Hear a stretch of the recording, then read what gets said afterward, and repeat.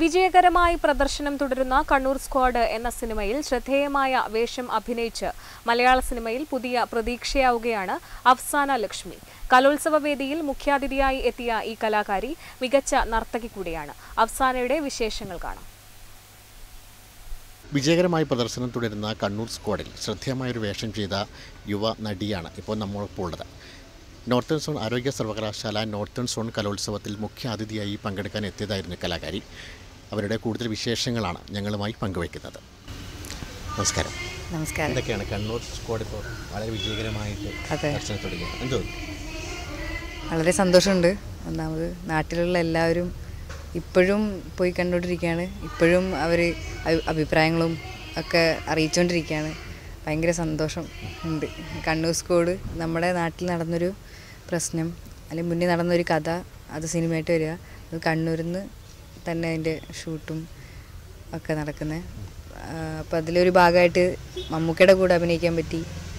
അതിലൊക്കെ വളരെ സന്തോഷമുണ്ട്. എങ്ങനെയാണ് സിനിമയിൽ ഞാൻ ഓഡിഷൻ വഴി തന്നെയാണ് എത്തുന്നത് ഓഡിഷൻ പോകുന്നു കഥ കേൾക്കുന്നു അത് ചെയ്ത് കാണിക്കുന്നു.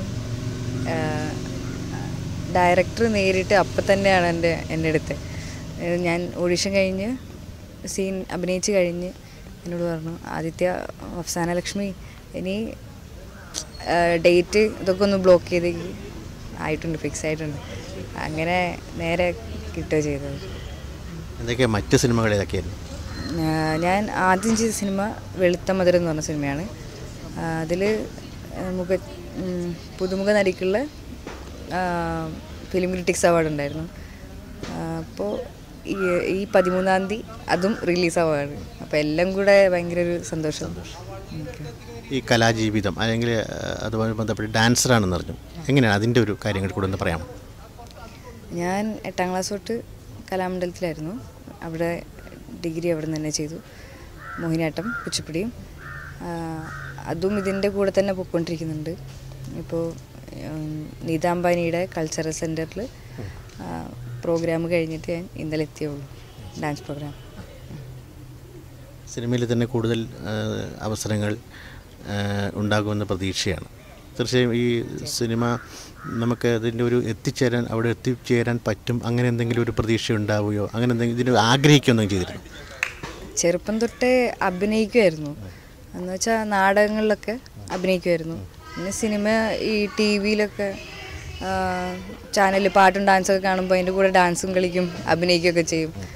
അങ്ങനെ സിനിമ ചെറുപ്പത്തിൽ വല്ലതും പറഞ്ഞ പറഞ്ഞ ഒരു ഓർമ്മയുണ്ട് തോന്നുന്നു. സിനിമ നടിയാവണമെന്ന്. അല്ലാണ്ട് വലുതാവുമ്പം അങ്ങനത്തെ ഒരു ആഗ്രഹം ഉണ്ടായിരുന്നൊന്നുമില്ല. പക്ഷേ ഓഡീഷൻ അറ്റൻഡ് ചെയ്ത് കിട്ടി. ഞാൻ പടം ചെയ്യുമ്പോഴും എനിക്ക് അതിന്റെ ഒരു ഒരു ഐഡിയ ഇല്ല. അത് കഴിഞ്ഞ് അവാർഡ് കിട്ടിയപ്പോഴാണ് ഓക്കെ ഇത് തന്നെയാണ് പരിപാടി അപ്പോൾ നമുക്ക് കുറച്ചും കൂടി സീരിയസ് ആയിട്ട് കാണണം. എന്നുള്ളത് മനസ്സിലാവുന്നത്. വീട്ടിൽ അച്ഛനമ്മ അനിയത്തി. അവരും അനിയത്തിയും ഈ രംഗത്തേക്ക് വരുന്നുണ്ട് മീൻസ് അനിയത്തി ഡാൻസറാണ്. പിന്നെ അവളിപ്പോൾ പഠിച്ചുകൊണ്ടിരിക്കുക കോപ്പറേറ്റീവിൽ